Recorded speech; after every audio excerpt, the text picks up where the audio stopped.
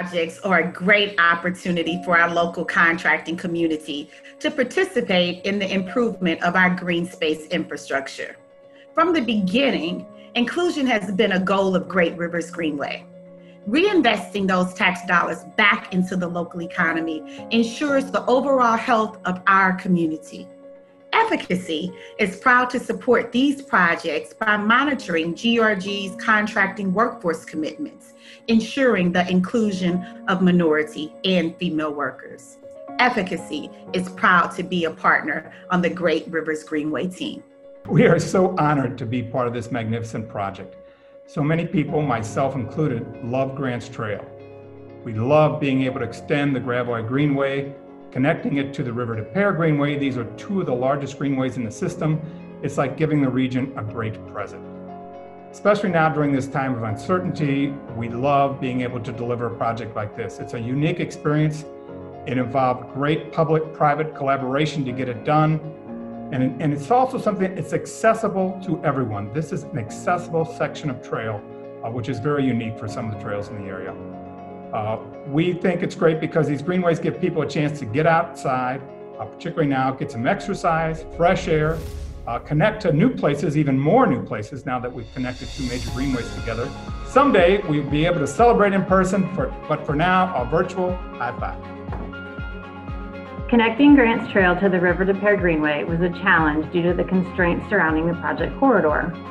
Designing and building the trail within the I-55 right-of-way was a great opportunity, but required creative solutions for crossing heavily traveled roadways, including a 600-foot-long bridge over Bayless Avenue and a tunnel under the Weber Road on-ramp. These elements were critical to making sure trail users remain separated from high speeds and volumes of car traffic, allowing a level of comfort and safety while utilizing the trail.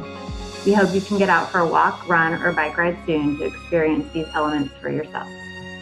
You know, we've been working on this project for uh, almost eight years now, and I, it's really exciting to see all the people out using the trail now. And what I think about is the fact that they see the final product and they don't realize how many different options we looked at um, over the years. Um, uh, for different routes, different uh, amenities, things of that nature, and how many different people we had to work with to get the uh, project done. You know, we worked with Ameren to get the trail across Bayless. We worked with Republic to get uh, an easement and the recycle hub, which I think people are going to be really excited about.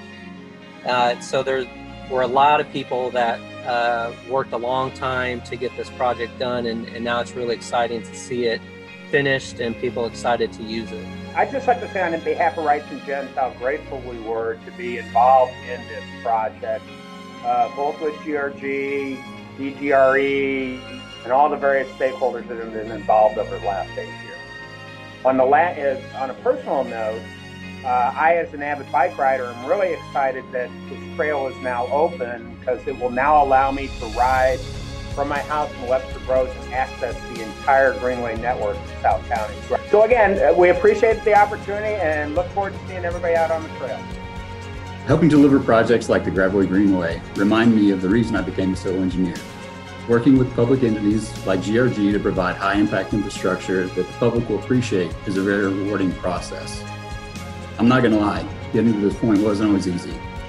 Weaving a pedestrian trail below power lines, along an interstate, and over a river represent a number of challenges and involved lots of coordination. However, the leadership of this team stepped up to clear every hurdle and was driven to deliver a project that the community could be proud of. I know this is a project that we will all enjoy for years to come.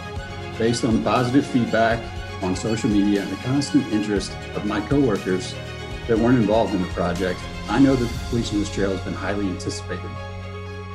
And we're all excited that opening day has finally arrived.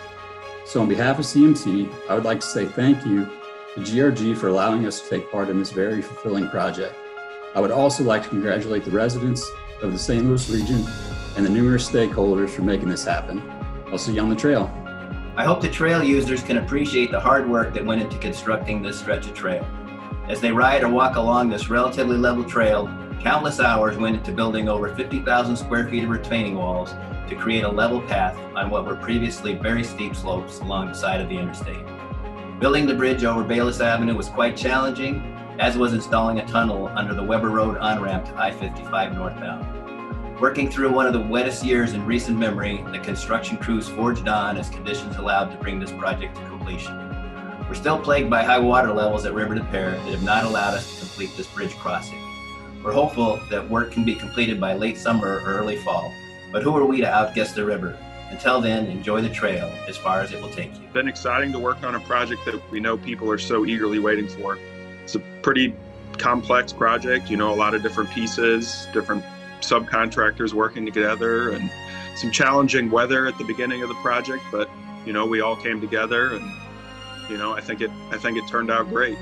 You know, it, it does take a lot of people and expertise to complete a project like this, so we want to recognize all those subcontractors who we've worked hard to bring this project to life for our community. It's a team effort. We cannot wait to finish up that bridge so you have the full connection between these two greenways. With limited right of way, we wanted to provide a variety of landscape that was both functional and useful, and of course beneficial for habitat and pollinators. As you travel along the greenway, you'll find a grouping of trees to provide periodic shade and you'll find pockets of brightly covered colored forbs. We call them pollinator pockets. These pockets of color provide visual interest for users along the Greenway and travelers along Highway 55. They also provide an oasis for pollinators and other habitats. Some of these plants include butterfly milkweed, pale purple coneflower, and also a variety of grasses. We had uh, contract with GRG to uh, build phase three of the Great Rivers uh, Greenway. Uh, we did the bridge over the swamp area. Uh, I thought it was a very exciting project. Uh, a lot of new things, putting piers through the mud and everything, but it also gives you a, a, a thoroughfare through the through the swamp area. You can see the nature and, and stuff like that. I've uh, always been a big proponent of the trail system. When they're all connected, it's going to be a, a great asset to the city of St. Louis. Um, you see all your tax dollars disappear, but this is a, a hard asset that, that so many people love. Even when we were building it, we were having to put up fences to keep people off of it. They were trying to use it so much. Um, I think the design really makes it flow and, and makes it uh, very user friendly.